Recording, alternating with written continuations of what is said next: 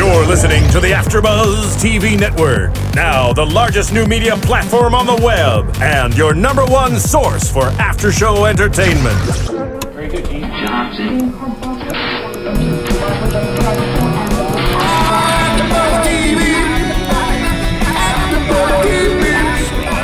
AfterBuzz Studios in Los Angeles, California, presented by Maria Menounos and streaming live thanks to Akamai Technologies. This is AfterBuzz TV's Parenthood After Show. We'll break down tonight's episode and get you all the latest news and gossip. And now, another post-game wrap-up show for your favorite TV show. It's AfterBuzz TV's Parenthood After Show.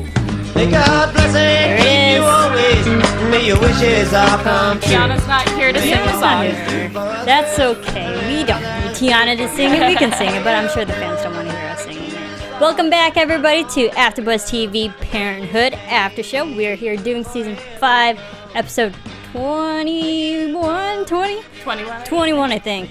Uh, the penultimate episode to season five. Uh, the finale's next week. Oh my goodness, we're here doing the episode. I'm still here. We're still here recapping this episode. I'm your host, Marisa Serafini. Tonight, I have with me, Alana Jordan. And I'm Danica Kennedy. yes, okay, overall thoughts of this episode. Very emotional. Oh my gosh, I cried a lot. I'm I not cried gonna a lie. lot. I usually like this show brings me to almost crying, and I'm like, oh, hold it back, and I Mm-hmm. like barely shed a tear. And this time I was like, okay, it's happening. Out goes the heart-wrenching. Kleenexes. I What felt did you better think? when I looked over at Danica and I saw that she was crying too because I was trying to hide it. I was just. It's a very emotional episode, which makes me hopeful that the finale will be very upbeat and positive. I agree. I was just I'm gonna say that. That's how that's gonna be. Yeah, I think they need to do that. The one really sad episode to get it out of the way and then end everything on a happier note. So let's just start this episode with Drew and Natalie. Natalie is still in the picture. And she's kind of, what seems to me, she seems like she's kind of stalking Drew a little bit, just here and there on the college campus. And Drew's trying to study for his finals. He's stressed. He doesn't want to talk about it. Get clearly giving the cold shoulder, shoulder to Natalie. What did you think about this? He's way out of her league. I still think that. You think?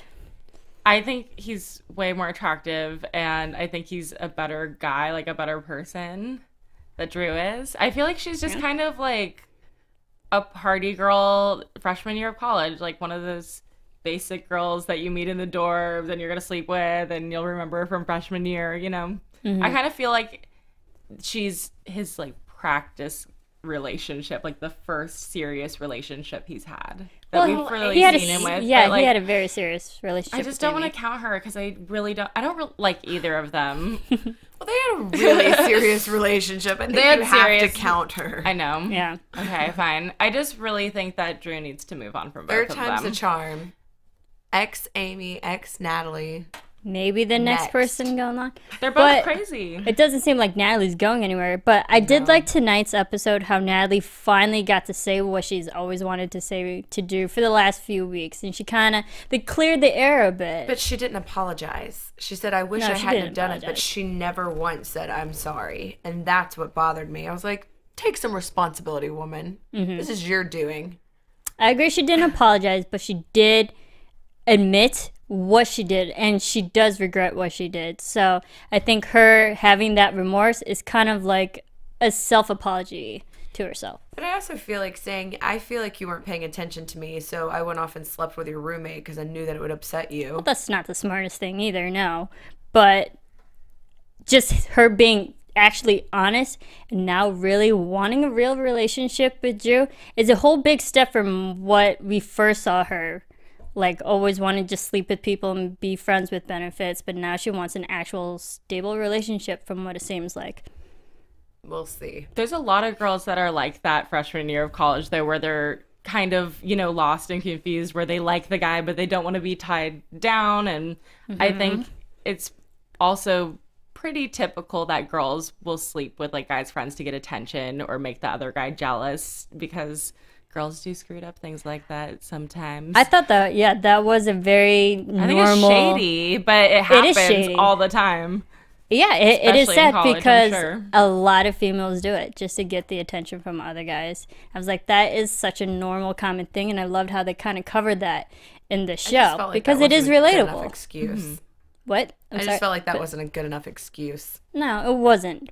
But do you think Drew Drew seems like he accepted it and now he kind of actually, well, not kind of. He actually does ask Natalie to be legit boyfriend girlfriend. Somewhat like a proposal kind of. I'm like, "Okay, did you think that was sweet or are we just tired of Natalie at this point that we don't want them together?" I was like, no, what are you doing? This is like another heart wrenching plot that they added on top of the cancer and everything else. You know, I thought it was Yeah. fitting that it was that fim- finals primal scream because that's what I wanted to do when she was like, "We're dating now." I was, "No, Drew." I agree. I was at the same same point where you were at, and I think I do have another witness who was watching me in the in the next room, uh, in the room, and I was like, "No, why?" And she's gonna be around for more episodes, but I honestly, because they're officially together now, I don't think it's gonna last really long, though. I don't think it will either. I think maybe the beginning of next season, which hopefully there is hopefully another Parenthood season that when they pick this storyline up, that they're going to be in a bad place and they might break up. She also hasn't had the Braverman seal of approval yet. Like No. And I really liked that scene when Sarah was at the door Love and it. she came in. It was such an awkward like, oh, the girl I'm hooking up with and my mom in the same place. And then she came back later and was like, "Is your mom here?" Like really bitchy. I thought it was rude how she said that, but Mm-hmm. Yeah. that's why I don't think she's gonna last. She's not as nice as everyone else. She's not going to get the approval from the Bravermans, but I did Mm-hmm. enjoy the scene where Sarah was like, "Who's she? Who, who's this girl?" like, uh, we need to talk later. You need to tell me the details about this. But um, that was fun. so we actually got maybe some some acceptance from Sarah. It's like now that she kind of got introduced, so maybe we'll see more of the Sarah Braverman actually meeting the Natalie in the future. I think that will be fun. You know, Drew bringing home another girl.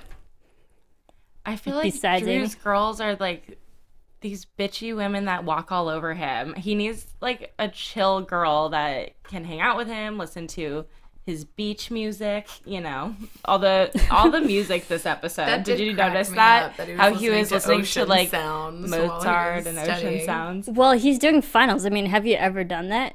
All the time during finals, I always played this one soundtrack that was all melodic music. I kid you Oh not. my gosh. All through high school, every time it was finals, I played the same soundtrack. It was all peaceful music. ocean sounds in a textbook is the perfect recipe to put me to sleep. I'm not kidding. Like instantly. Well, that, that was Drew's way of studying. I That's I can believe that, but Natalie's still in the picture. But and also another person who's still in the picture and still wants to stay with the Braverman family, Joel. Him. So Joel is actually over at Crosby's house because Crosby's floor is still all damaged from the people who are taking out the mold, and now Crosby is having standing water and the he's having all these house issues. And he has to refix the floor. He's getting joel's just like overlooking everything just to get his approval. And all of his contracting advice and stuff. And joel's like well you need to do this and this and this. And crosby's trying to get joel to help him out because he is a contractor just like but not really asking him what did you think of the situation? Was it funny? Did you did you like how all that happened? They were very brotherly and i Very feel like they're going to continue to be brotherly whether they stay together or not he kind of got added onto the family as another sibling because he's in that same age and he gets along with the siblings Mm-hmm. i like seeing scenes with them together Well, once you're a Braverman, you kind of braver know. men for life yeah. As soon as you marry into the family, Mm-hmm. you're part of that family. Yeah, and I liked how this whole situation got Joel to really consider his situation going on with Julia because this he does realize he loved being part of the Braverman family. He still wants to be part of the Braverman family and not feeling obligated to help Crosby, but just because he loves helping family. He's a family man. So Pete, points says. out. What did you think of Pete saying, uh, you're a family man? Obviously because it didn't work out with us because I sent all these signals to you and that's why we would have Rated never in, worked out. Pete.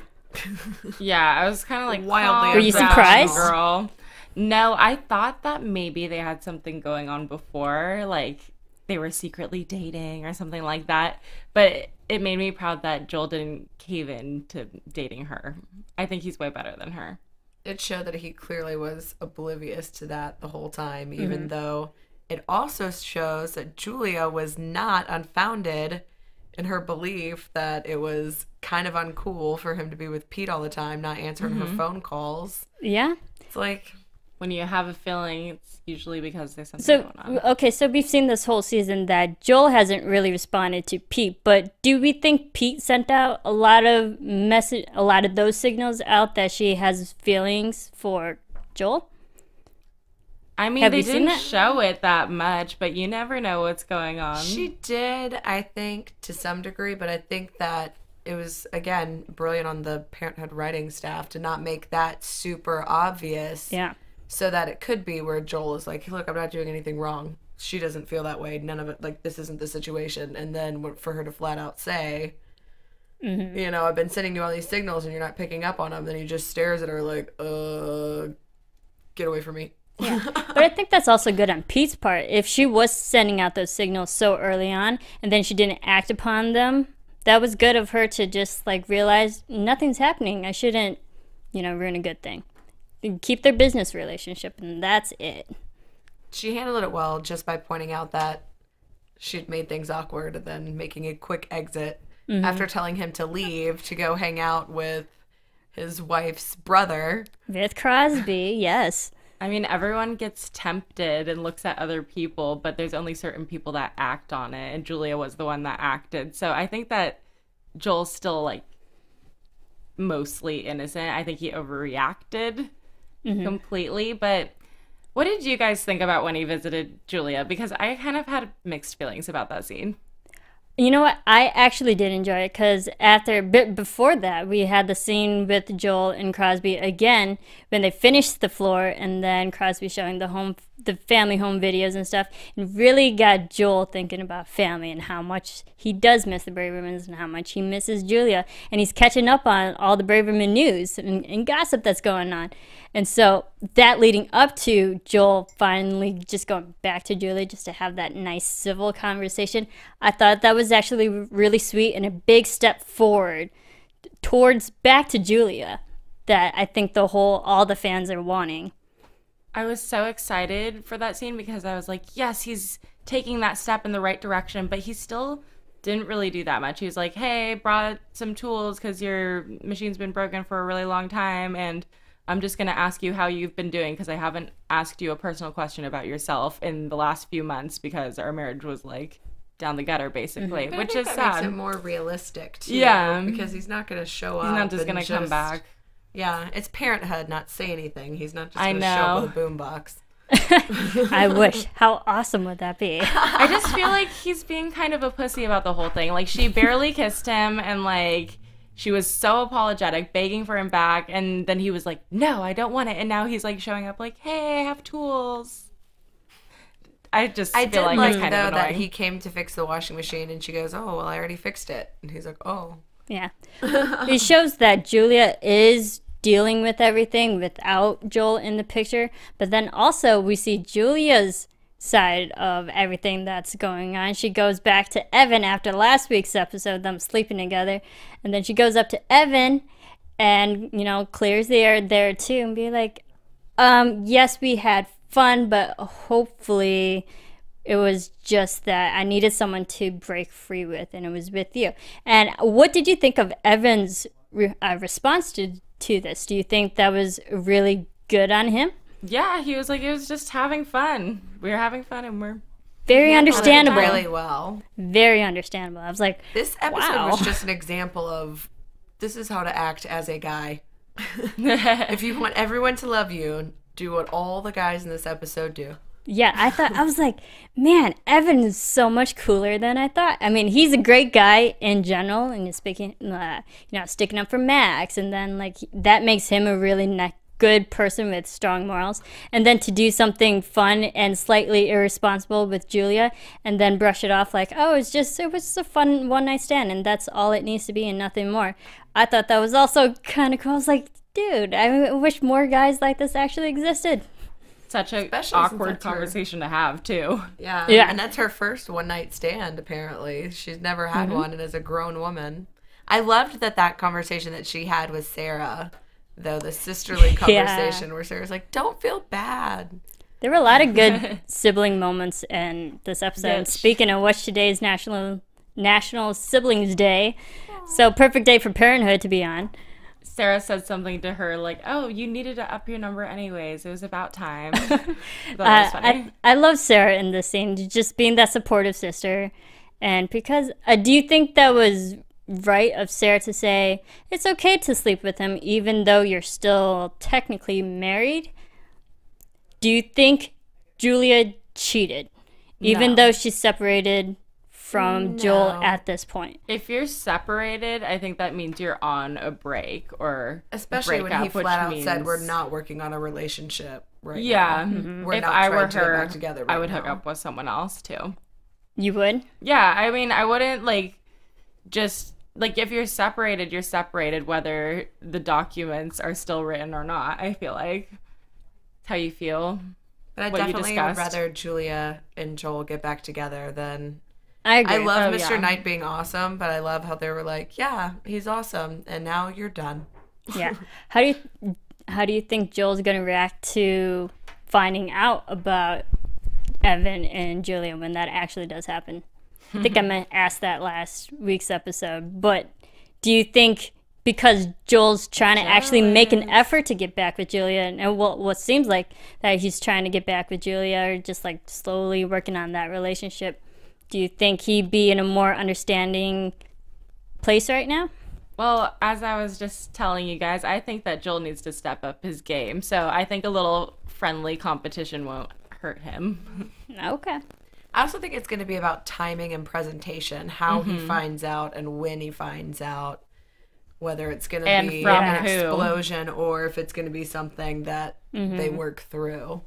Agreed. Well, let us know on iTunes and YouTube. You guys are awesome with your comments and um, and also following us on Twitter. We get a lot of tweets from you fans, which we definitely appreciate.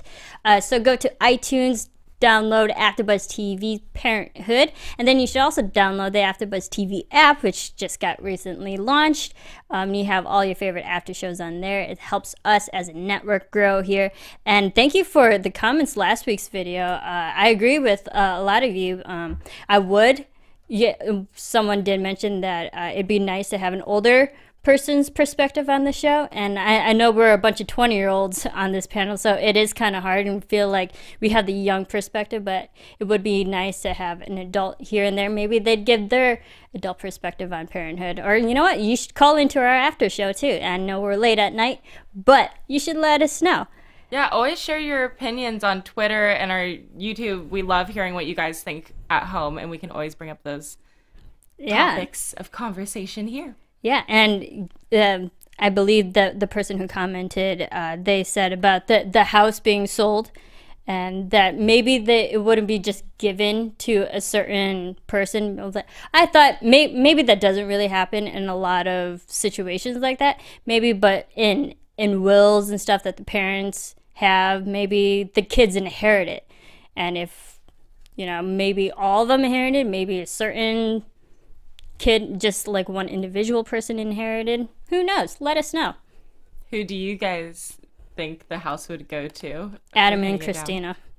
Really? Mm-hmm. See, I would guess like Sarah because she's the most down think and out. she needs the most help. Because she lived there the last. Yeah. two. Uh, I would say Adam and Kristina because they're the most stable relationship and they already have kids. Mm-hmm. So give it to the oldest, probably.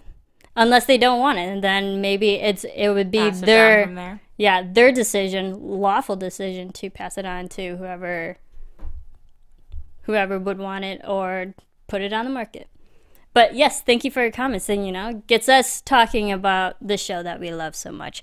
But also, okay, so let's get into Max tonight. Max, all right, we, we start the episode. Max just barges into Hank's studio, really furious. He's having an episode. He's throwing around equipment. I'm like, oh, do not knock over that lamp. Do you know how much that costs? So stressful. Oh my goodness. Well, what did we think of Max and how everything that was going on and like how Hank handled this situation? Max is Max. He always has his outbursts. That happens all the time. Why was Hank Mr. Good Guy this whole episode though? Like usually it's because kind of gonna harping end up on with his Sarah. yeah.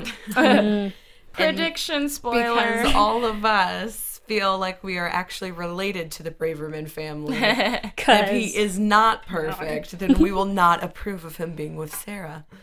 So well, I haven't been approving of him being with Sarah. I'm I like, haven't get either. rid But of this Hank. episode, the whole episode was like Hank's the how best. great he is Team for Hank. the kids. He's so great for Max to be around. And Adam Mm-hmm. even said that to Sarah, like, hey, I'm not going to tell you who you have to end up with, but we really like him being around. I'm rooting for kid." Hank. Yeah. And then he drove Amber. We're going to get into that. But Yeah, he's like really there for the kids this episode. He's I a good love- guy. I think that was good on Hanks though. I don't think it was like the ulterior motive because he just wants to end up with Sarah. He has an end I game. don't I think it was because Hank was actually a genuine I think guy so, in too. this episode because he is a family man. He cares about his daughter, so and he's built this relationship with Max, and by extension, built this relationship with the whole Bravermans, and so helping the Bravermans out, I think that just shows him like how connected he is with the family, and he was just being a genuine guy. I like too that you can really see how therapy is helping him. You see that that mm-hmm. character is really evolving because you know, looking back at the earlier seasons, you really see Sarah growing and evolving and improving, and now she's kind of got her feet underneath her. Yeah. I like seeing Hank grow, and also, you know, speaking of people sending us stuff on iTunes and sending us comments and messages, I've got we've gotten articles from people saying more about uh, autism, and so I really like seeing how you know Adam says it best. I, I want Hank to end up with somebody and be happy because I want that for Max. So yeah, that was. I sweet. do like seeing that character arc. I agree. I agree with that, but I also feel like he's dragging Sarah down a little bit. And I know he doesn't mean to and he can't help it. But I mean, he's going through all these things and going through therapy, but he's going to her and explaining it not the same way as the therapist, you know, and is just bringing up all these old wounds that like weren't fully healed and it's causing more drama when the past should be left in the past sometimes. I think, and also I think it might be Hank helping other people helps himself.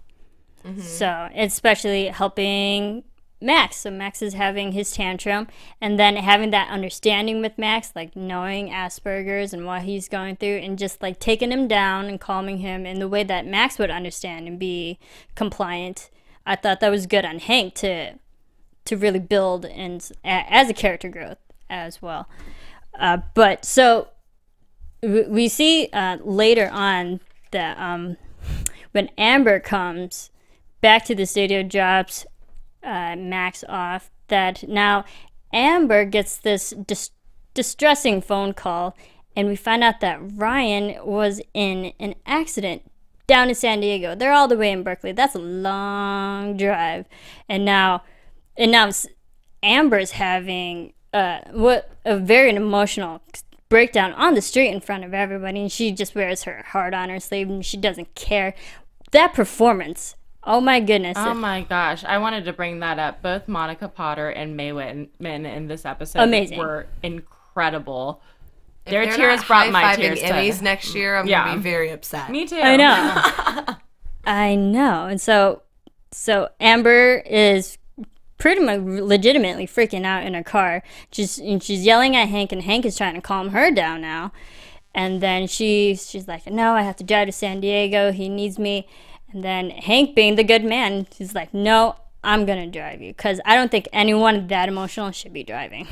I was really scared that she was gonna drive and that was gonna be Get some in the sort of crash, something. freak out. 'cause we've seen her almost get in really bad accidents before.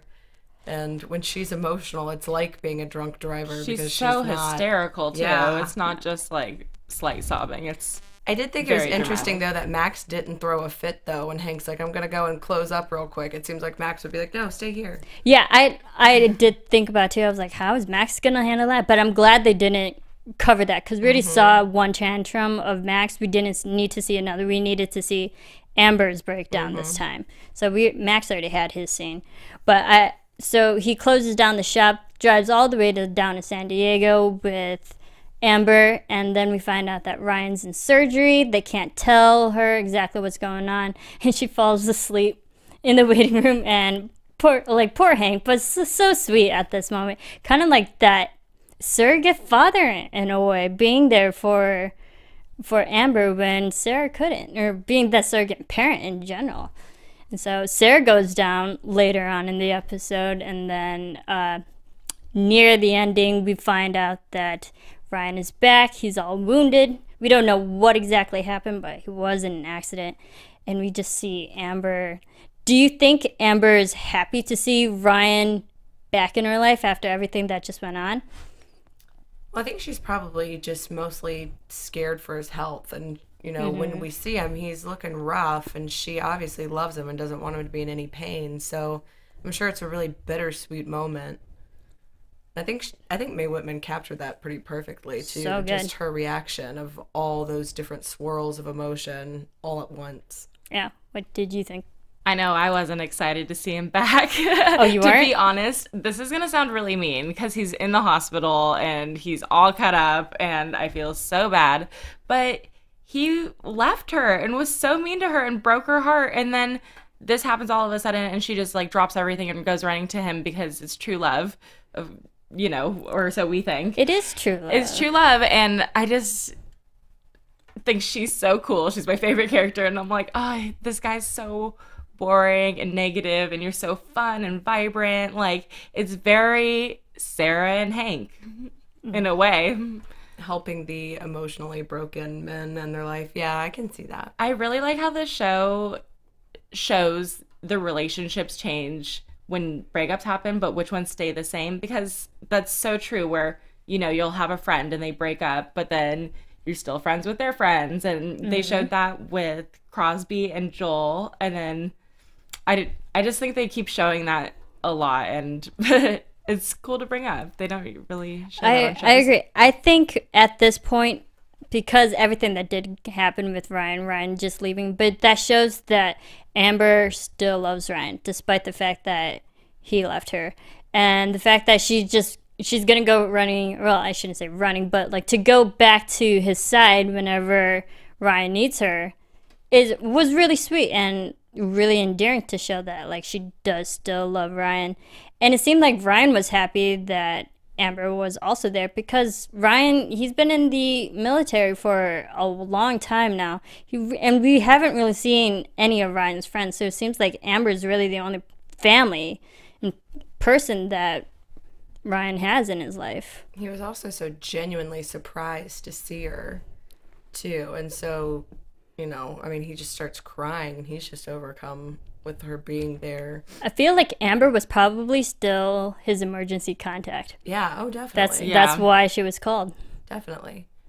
Um, but yeah, I mean, sad. for him to think that she wouldn't come, you know, for him to be that surprised that she was there, I just, Probably knows Mm. he messed up. Yeah, and that breakdown from Ryan knows that he messed up. Things like this scare me with Amber though because she's such an emotional person and as you were saying she wears her heart on her sleeve so she makes rash decisions like oh I'm going to get engaged no I'm breaking up oh I'm going to hop back into the marriage what if she did that all of a sudden that's the season finale it's like oh I'm engaged again I feel like she's the And you know, I wouldn't be that would surprised do if that though Yeah, I wouldn't be surprised if they did get called back on. I think that'd she's be her mother's daughter. Yeah. it would end on a happy note for her for the season if that happened. But we ended the episode her and and Ryan back together, kind of, you know, just being there for each other. I thought that was it was sweet, despite everything that did happen. That Ryan is, I, I don't- hopefully they'll touch more upon that for next week's episode because we just saw a few seconds of them actually together, and I was like, oh, I kind of wanted emotional, really an emotional scene. Well, they'd already ripped our hearts out by that point, I so I was kind of glad that they were being somewhat lenient. I was like, "Don't make me cry again." Yes, speaking of ripping hearts out, we got it. We got to talk about it. Kristina. Oh my gosh. Okay, so, uh, just thinking about it is like I think we're all getting emotional now. I feel this like this whole episode was her crying and me trying to Hold it back. my tears back from her crying. oh my goodness. Anytime okay, she cried. So we all know Kristina had her cancer um, situation and she recovered. But her friend Gwen, who was with her throughout the whole chemotherapy process and even afterwards, and Gwen was there for the election and all that, like her good friend Gwen, who also has cancer, is not doing well. And then, so Kristina gets this call from Gwen's sister saying uh, Gwen's situation. Kristina goes down to Gwen, and Gwen is just sitting there in her bed. And Kristina just kind of, I mean, what do you do in those situations? Fortunately, I haven't really been in those situations. And, you know, please let us know, um, any of you listening out there, that when you go to a, loved one, a friend, a family member, when you go to those situations when you kind of know it's it's the end and it's your goodbye, what do you say?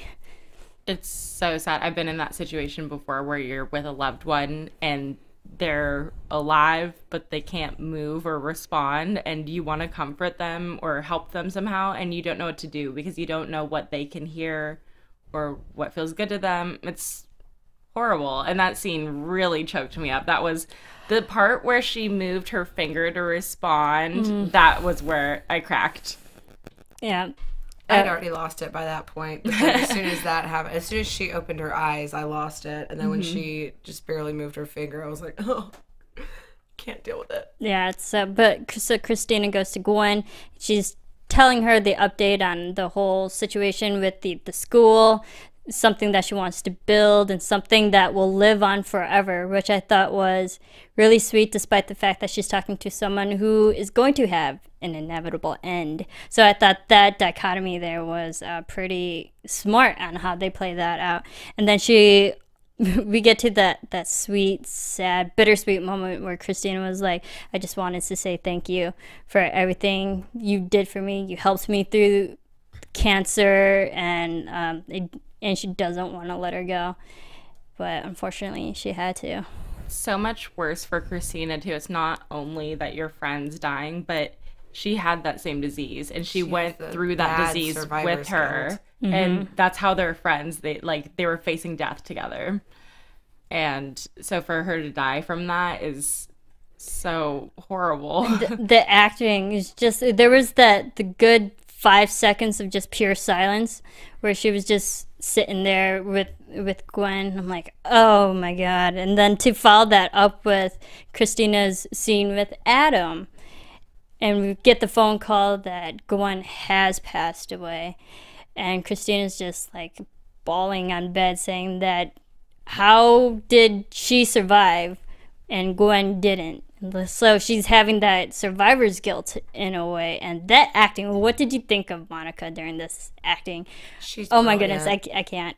I love Adam too. That was just so perfect when she's saying, you know, I'm angry, and instead of saying, "Don't be," or trying to coax her out of being upset, he said, "You know, that's okay. This is it's unfair. You should be angry. Be angry. I'm here She's for allowed you." to be mad. yeah. Uh, I I thought that was amazing. I mean, and Kristina said that she she was scared. How was she feeling? Was she alone? Just like all those things that just flood through your head. And we see Kristina. She's at that that mad grieving stage, and hopefully Kristina can just maybe use that to help with the building of the school, because we, we well let's take it a shift because I felt we we went really sad there, but let's go happy now. That Kristina and Adam they want to they find this building that they want to use for their new charter school. It's a big fixer upper, but they're having problems trying to actually have ownership of the building that they might have to lease it from the city to the point where Kristina actually has to go to Bob Little. I was kind of upset just to see Bob again in the picture, but I'm like, if it's for a city building, she's gonna have to. And uh, what did you think of the scene of her and Bob and how Bob was like trying to be making up really lame excuses to not let have not let Kristina have this building? I am not a fan of his at all.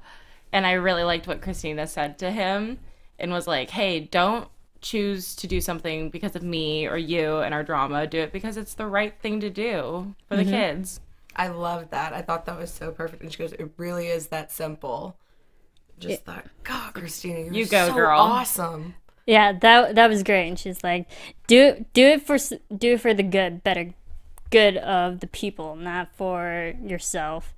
And I'm like, all right, Kristina, you go. You should have been mayor, you know. And I but think he knows that too. Mm-hmm. So I kind of feel like that put the the seed in his head. Like Bob, she clearly has some ambition that she at some point is gonna be over you. Do you really want Yeah. her holding grudges? And plus, we have the community on Kristina's side. They want this charter school. So, I mean, if Bob's not going to give it to her, I'm sure the community might step up and help her get this. But we, we didn't really see it, um, how the outcome will be if they do get the building. I think they will. I think Bob will finally kind of, she, he kind of got swayed a bit at the end of that conversation. He was considering it. So I think maybe that might get into predictions, but I think she convinced Bob. Well, they were trying to decide what they would name the school, and they said Braverman can't be the name because Max would get some big ego that the school was named after him. Right.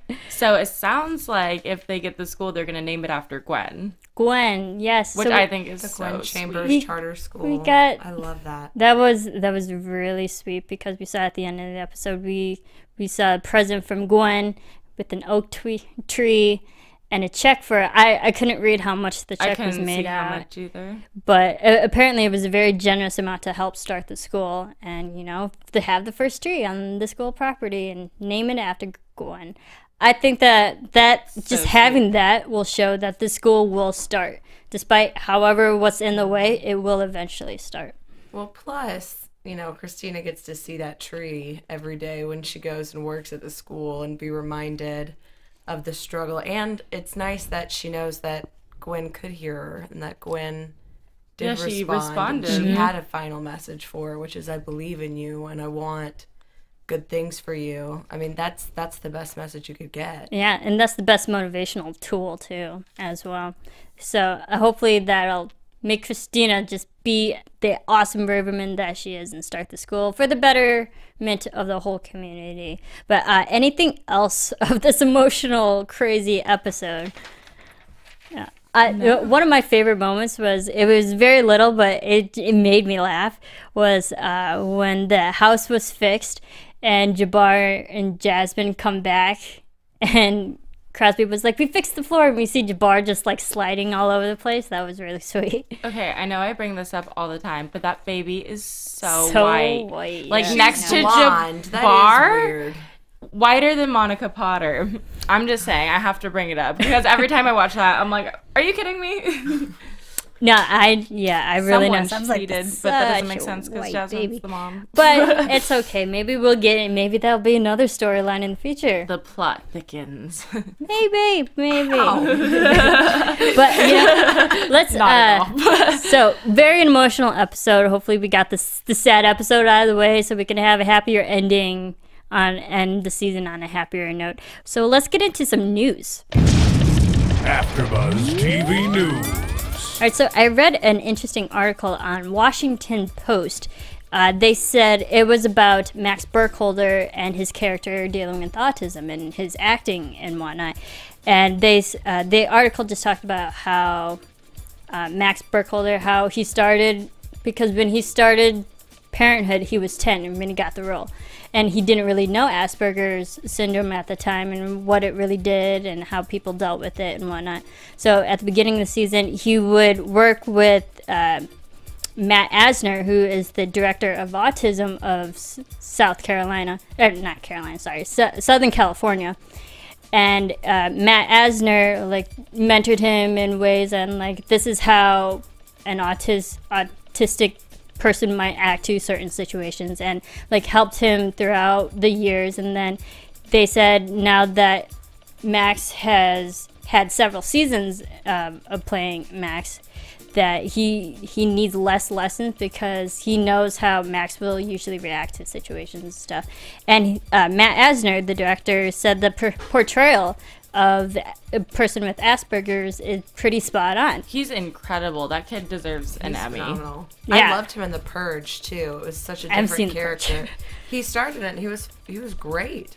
I haven't seen the He was really good. It's it was interesting seeing him in a completely different character. Yeah, and he, so when the director of autism says that the portrayal is spot on, that that shows that how um, how relevant it is in the society that everyone who needs to like really know how to handle autism should watch Parenthood because it is very realistic.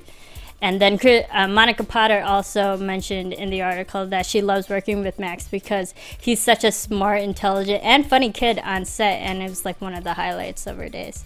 So I thought that was very sweet. And then also we had the cross uh, crossover episode of Speaking the of a Boy baby. Parenthood with Crosby. So you guys watched the episode. Can you tell us a little bit more about that?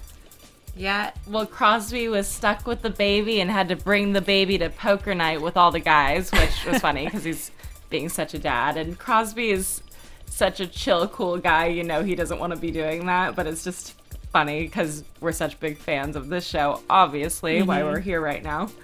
That's why I loved in this episode when Crosby was showing Joel, you know, the kids on the phone. I was like, oh, he was just doing pretty much the exact same thing to Aw. Will and Yeah. everybody else at the poker game on About a Boy. Oh, that's sweet. So was it just a poker game night or just Yeah. the boys' night? Just kind of Yeah, came he over just for the showed boys' up night. and they were like, you brought your baby? He's like, yeah, I brought my baby to poker night. Look how beautiful my baby is. that's awesome. I mean, so that's on uh, About a Boy, which is also Jason Katims' TV show, which airs Tuesday nights of the week. So that I believe that's Same NBC network. As well. So definitely check out that crossover episode. I definitely will. That seems like a fun, a fun situation. You know, it's always fun to watch the guys' night. So uh, you know what? Let's go into predictions. And now, your AfterBuzz TV predictions. These previews for Parenthood, they get me so worked up at the end of every episode. Okay, we saw a lot happening. Haddie. Haddie. Not only is she Back apparently coming back blonde, but also gay, and they don't have a gay character, so it's Also kind of like finally.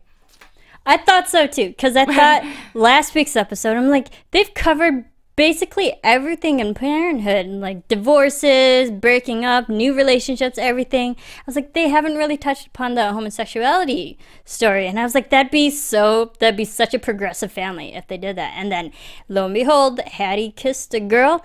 Does that really make her homosexual? Is she just testing the waters or really finding out who she is? I mean, it is college. That's when you tend to find out who you are in life. Also, these previews tend to build it up so much, and we think that, Yeah. oh my gosh, she's sleeping with this girl, and then like- we're like, oh, they just touched hands at a. Was it just a tease? That's my thing. Well, I'm like, was it just a tease? Because the girl said, tell your parents when you feel comfortable and when you want to, and then Max kind of outs her. That's why Mm-hmm. I feel like it probably is. And because, again, they haven't really touched on that. So I feel like that would be kind of a tease if they were like, oh, just kidding, she's actually straight. It's like, well, then why even do it? How do you think Adam and Kristina will react to that? not very well at first, but I think they'll accept. Like once they find out, I can see Kristina like freaking out at first and worrying, Yeah. and then being like totally fine with it after like a day, like the initial reaction. I don't think Yeah. she would even The freak initial out. shock, I feel like but- they, yeah, I just I feel like they're such accepting, cool parents. I feel like they would be Remember when she cut her hair off and dyed didn't. it black, and they like wanted to kill her?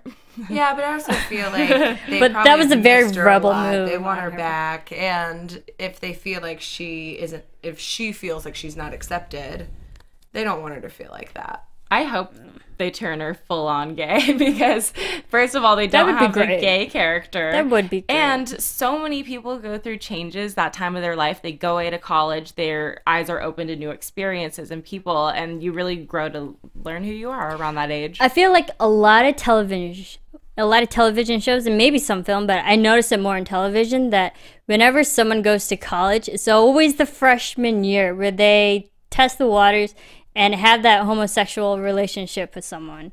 it's always the freshman year. And maybe that's when they they realize, oh, maybe they're straight, maybe they're not. But I, I feel it's always the first year of college. It's like So you're a fresh maybe it is life. just that. you in- just in finished parenting. high school. I mean, I don't have a problem with it. If she wants to be a lesbian, go for it. I was like, I think it'd be a really fun dynamic that they'll bring to parenthood. I like that we didn't really see a lot of relationship things with Haddie either. You know, throughout the whole series, there was a lot of focus on Amber and all of her relationships, but Haddie was. They kind of would touch on it, but it was more. Yeah, like and- Haddie was kind of secure in herself already. Yeah. So I like that she's in a in a happy relationship And now. had we had two we saw her with two guys already and then they both ended on fairly sadder notes. And now maybe this this relationship would be a happier note for her. So also we see hank and sarah because all these episodes hank and sarah ha- hank's been like pouring out his emotions to sarah and like his true feelings and whatnot. And we saw tonight that sarah just kind of smiled and like okay he he's being genuinely sweet because we did i mean i think we skipped the the moment where sarah did talk to um, adam about hank being open and honest and whatnot but Sang seem, sarah seems like she's being kind of accepting of it may- maybe open to being back with hank but in the previews we see her, sarah just going right up to hank and laying a big one on him. Do you think that's the tease as well? I think that Adam's talk kind of helped her want to be back with Hank because I think she wasn't feeling it until he had that conversation with her. okay I think it'll just the combination of everything because Sarah didn't even see how Hank was interacting with Max, but just I mean all she saw was that he drove Amber, and I loved when he's trying to pick up the magazine because he's been sitting so there funny. for two hours because he doesn't want to wake Amber up, And he has to go to the goes bathroom. Yeah, that was really that was a ni- I think tonight's episode it had the perfect balance of funny little moments with the the very big serious heart wrenching scenes. It was like just a great balance throughout, evenly mixed. it's the compassion and the selflessness Mm-hmm, mm-hmm. combined that they show that you're just instantly like, oh yeah, no, I do love that character. You're Yeah. right. I love we love all these characters. I mean, that's why we're here every week talking about them. But in the meantime, to keep talking about them, where can we all find you? You can find me on Twitter and Instagram at Danica Kennedy. You can find me on Twitter at Alana Jordan, and also I'll be at the Comedy Store if you're in Los Angeles this Saturday at 11:30. Ah, and you can follow me on Twitter and on Instagram at Serafini TV. You can follow Tiana Hobson. She's at Coachella right now having fun. Uh, you can follow her on Twitter and on Instagram at the Tiana Hobson. You can follow all of us here at AfterBuzz at AfterBuzz TV, Twitter, Facebook, Instagram, all that fun stuff. And uh, definitely check out the AfterBuzz TV app. Rate, comment, download, and rate, comment, download this after show. And thank you, Phil, for engineering. We will see you next week for our finale episode. Oh my goodness! Thanks, guys. From executive producers Maria Menounos, Kevin Undergaro, Phil Svitek, and the entire AfterBuzz TV staff, we would like to thank you for listening to the AfterBuzz TV network. To watch or listen to other after shows and post comments or questions, be sure to visit AfterBuzzTV.com. I'm Sir Richard Wentworth, and this has been a presentation of AfterBuzz TV. Buzz you later. The views expressed herein are those of the hosts only and do not necessarily reflect the views of AfterBuzz TV or its owners or principals.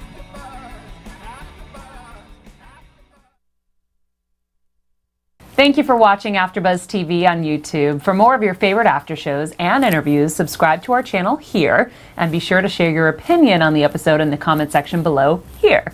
We'd love to see what you guys are buzzing about. Thanks again. Buzz you later.